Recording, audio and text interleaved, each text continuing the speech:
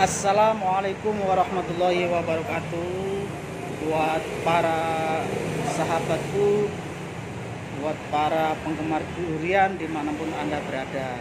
Hari ini saya akan mencoba berbagi pengalaman Bagaimana cara kita memilih durian yang sudah matang ala tom durian. Nah, yuk kita simak. Sebelumnya mohon maaf buat para suhu-suhu durian buat guru-guru durian bukan untuk menggurui tapi ini hanya untuk berbagi pengalaman buat para penggemar durian yang belum mengetahui durian matang atau belum. Nah, saat ini yang akan kita bahas durian montong. Sebelum kita membahas lebih lanjut bagaimana cara mengetahui montong itu sudah matang atau belum, nanti akan kita kupas tuntas bersama kami Tom Durian Jakarta. Yuhui Endes. Yuhui Endes bro ini. Tebal banget guys guys tegal tebal banget guys. Wow. Ini asli montong. Enak banget. Gimana rasanya mbak? Enak parah ya. Jadi buat kalian Enak semua banget. yang belum pernah ke sini harus cobain tom durian. Yuhui. gue nggak doain endorse jadi endorse guys tapi bener enak sumpah. Dagingnya guys mantap tebal banget guys. Sumpah. Oke selamat menikmati mbak E abang E. Yuhui endes nah sekarang kita akan mencoba memilih durian yang matang atau yang belum nah saya akan menggunakan cara yang sangat mudah. Yang pertama durian ini sudah matang atau belum kita cium aroma.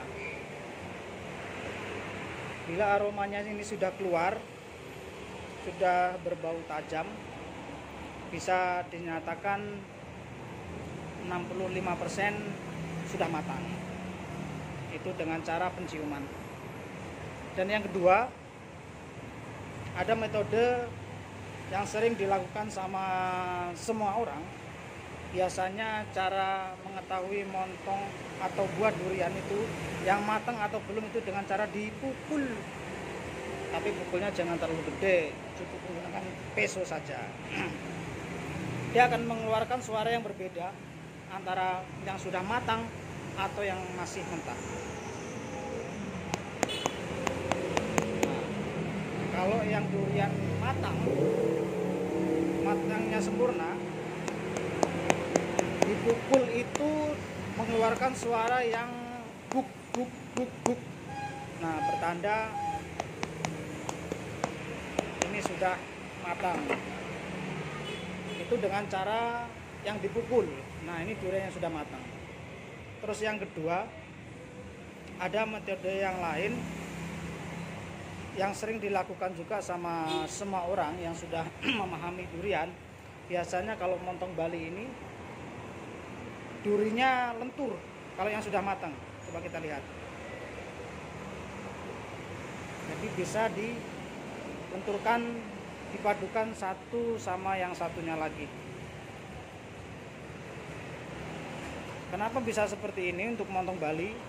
Dikarenakan montong Bali memiliki kulit yang tipis dan kalau yang sudah matang itu tekstur kulitnya tuh lentur sehingga mudah untuk dideteksi matang atau belum.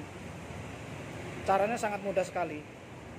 Cukup dengan cara dipadukan durinya bila ini sudah bisa terpadu atau terlihat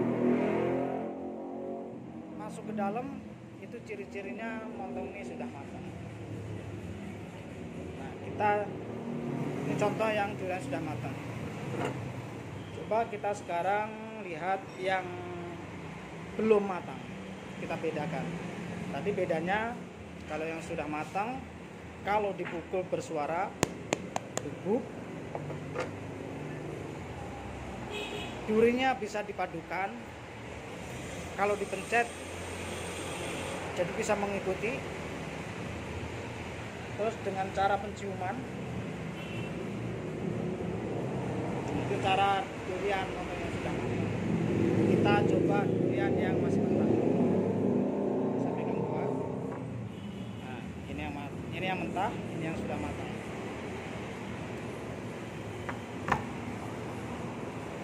Nah, ini untuk membedakan. Pertama, dicium belum begitu keluar aromanya. Ini yang masih mentah. Terus kedua, coba kita pukul. Suaranya masih tok tok tok tok. Suaranya tok tok tok. Itu yang masih mentah. Terus yang ketiga, kulitnya ini masih keras. Kulitnya keras. Jadi kalau dipadukan duri sama duri masih belum mau bergerak. Nggak ada pergerakan. Tidak ada pergerakan. Nah, ini durian yang masih mentah. Jadi itulah trik bagaimana kita memilih durian yang sudah matang atau yang belum matang. Tujuannya supaya buat para penjual dan pembeli buat pembelinya tidak kecewa di rumah dan buat penjualnya tidak merugi karena sering dicoblos. Kalau sering dicoblos bolong. Dan yang pasti setelah matang duriannya rusak karena bolong. Nah, itu dia trik cara memilih durian montong yang matang atau yang sudah. Yang belum matang atau yang sudah matang. Tonton terus di Tom Durian. Next kita akan membahas durian montong.